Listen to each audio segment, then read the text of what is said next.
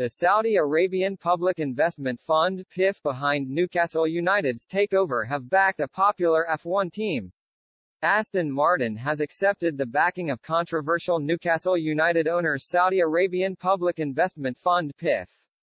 The Saudi backers will secure a 16.7% stake in the iconic car manufacturer to become its second largest stakeholder.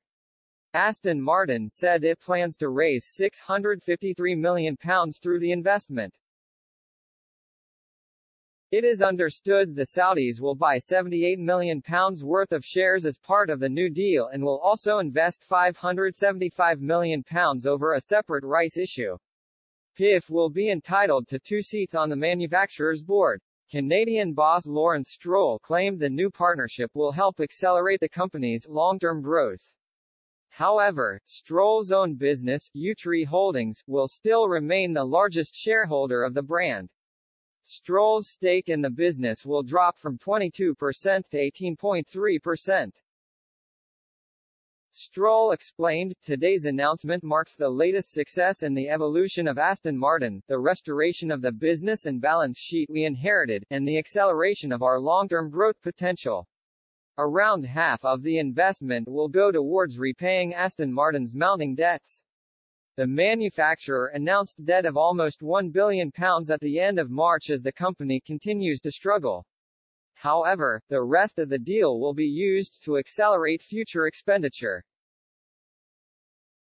It comes at a time when their F1 team is struggling under the new rules package with the team currently lying ninth, just in front of Williams. Stroll added, Aston Martin's return to the pinnacle of motorsport with the F1 team has also ushered in a new era for our iconic British brand. Our focus on building brand equity and unleashing the potential of Aston Martin is already delivering growing demand from a new generation of customers, with more than 60% new to the brand in 2021. Quote, dot, existing shareholders Mercedes-Benz will invest a further £56 million in the struggling carmaker. This means the German brand will own just under 10% of the business.